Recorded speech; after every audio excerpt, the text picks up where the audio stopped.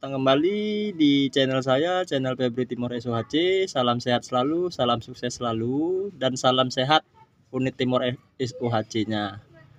Jadi jika channel ini bermanfaat, subscribe, tekan lonceng notifikasi dan like-nya. Jadi ini kita bahas kokel. Kokel itu arti kata kita bilang astari atau CP join. Jadi saat belok, ini CP join ini, nih CP join ini, nih ini kalau saat belok itu pasti bah bunyi. Kalau dia keadaan posisinya rusak itu jadi sebelum untuk ganti CP join coba dipastikan dulu dipastikan dulu ini CP join ini ini kan paret nih karet botnya. Kalau posisi belok dia bunyi jangan beli dulu CP joinnya. Coba diperiksa dulu buka ini klipnya ini klipnya. Terus ini klipnya buka kemari kendorin arah kemari.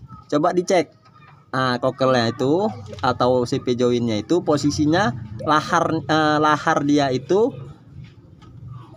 bagaimana? Jadi ada dua kondisi. Posisi bal eh, bola-bola laharnya bisa rusak. Yang pertama, yang kedua grease-nya kering.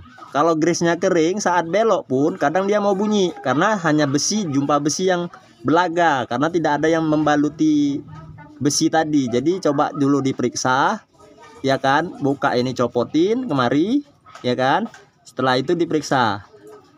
Nah jika grease-nya kering tambah aja dulu grease-nya secara penuh di, di karet boardnya ini.